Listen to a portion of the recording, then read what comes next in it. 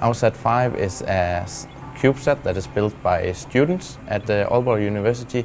We are uh, coming from different semesters at Aalborg University and uh, we work in uh, small teams consisting of uh, two, four uh, people working on each our subsystem um, and then each group is responsible for that subsystem and developing it and uh, soldering it, testing and so on and then we can integrate the satellite and make it work all the subsystems together.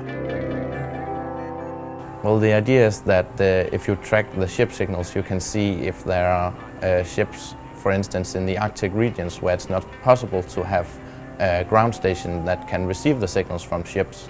So we're able to do it from space and can then monitor ships in regions where you otherwise will not be able to do it. Originally, it was part of the um, maritime authorities in Denmark that asked us if we could uh, look at uh, if it was possible to do this kind of tracking from space, and that resulted in uh, AAUSAT 3. And then uh, we uh, made the AAUSAT 4 satellite as part of uh, ESA's Fly a Satellite program. And uh, then in regards of the Andreas Mogensen mission to the ISS, we were offered to build the uh, AAUSAT 5 satellite and uh, have it launched from the International Space Station.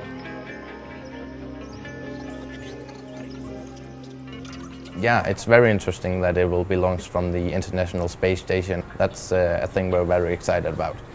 If you sometimes take a step back and think about it, it's pretty cool to, to know that it's going up into space at some point and, and work.